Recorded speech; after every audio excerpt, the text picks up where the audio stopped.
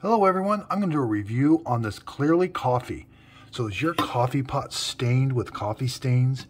And is your filter basket stained with coffee stains? This Clearly Coffee will clean all of this up. Now it is kind of a harsh chemical, so I do recommend that you use gloves, rubber gloves when you're using this chemical. Now you are going to have to let the product soak. So put it on full strength in the coffee pot, and it helps if you have a brush. It doesn't take a whole lot because you can brush it around. But what you're going to have to do is you want this product just to kind of soak on all of the areas that need it to soak, that you have the coffee stain. And you can see it's already starting to work inside there very well. But it does have to soak for a little bit. And then you are going to have to rinse this out with soap and water when you're done. But we can see it's already starting to dissolve that.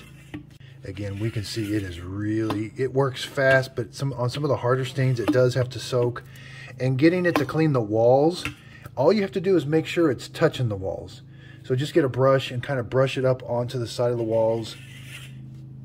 I let it soak for about 10 minutes. And again, just kind of make sure it's brushing the walls. Here's the lid for this grind and brew. I'm going to clean it really well too. Okay, so this took about 15, 20 minutes, but look at it.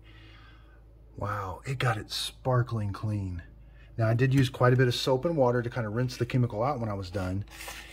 It does not get hard water deposits off of certain things. So it will not remove hard water, but it definitely cleans up the plastic. Here's the filter basket. Did a really good job, even the lid. Now I have used it on coffee makers around the heating element. You just got to kind of soak it and then rinse it up. You can't submerge any of this in water and you can't run it through the coffee maker. It's only for just external cleaning of a coffee. So again, I hope this video helps. I really like this Clearly coffee.